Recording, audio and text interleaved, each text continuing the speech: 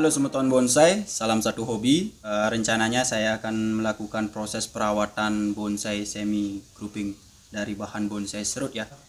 Ini merupakan video kedua yang saya buat untuk bonsai semi grouping serut yang saya miliki ini. Dan untuk yang pertama yaitu proses penggabungan ya.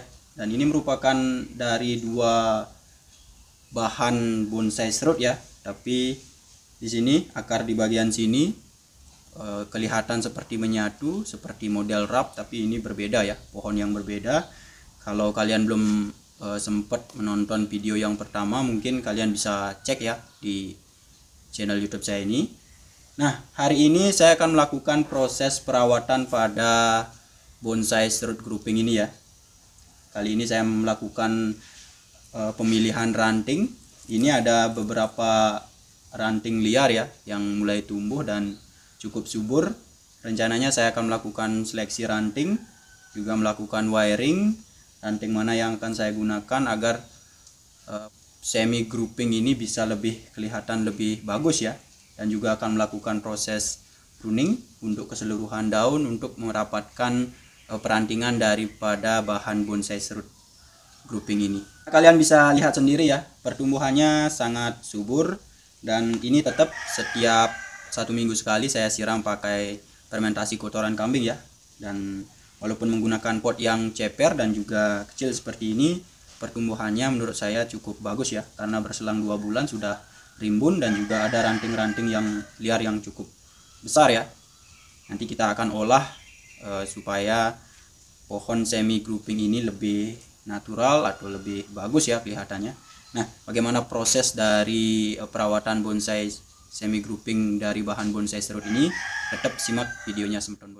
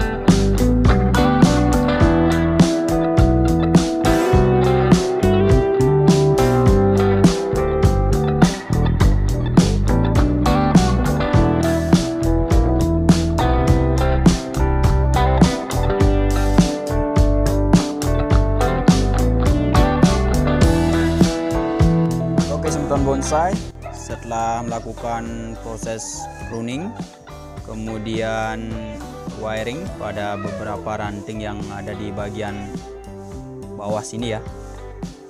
Nah kalian bisa lihat inilah hasil akhirnya semeton nah untuk sementara seperti ini ya kita tinggal menunggu perkembangan selanjutnya agar perantingan bonsai semi grouping bahan serut ini semakin rapat ya Oke semeton untuk video kali ini mungkin sekian ya proses perawatan dan juga pemangkasan daun dari bonsai semi grouping bahan serut ya. Ini untuk perantingannya sudah lumayan rapat ya. Tinggal di pruning lagi dan tumbuh tunas baru sehingga perantingannya bisa menjadi lebih rapat. Untuk di bagian bawah di bagian belakang seperti ini semeton. Nah ini ya ada beberapa tempat atau lumut yang memang sudah mengering ya karena sering kena panas dan ini tampilan depannya untuk lumutnya semakin e, berwarna hijau ya masih hijau ini karena sering di disemprot ya menggunakan embun Oke untuk sementara waktu tampilannya seperti ini semeton bonsai. Saya ucapkan terima kasih banyak ya buat semeton bonsai yang sudah menyimak video kali ini. Semoga bisa menjadi inspirasi ya untuk pemula. Saya ucapkan terima kasih. Sampai ketemu di episode selanjutnya. Sukses semeton.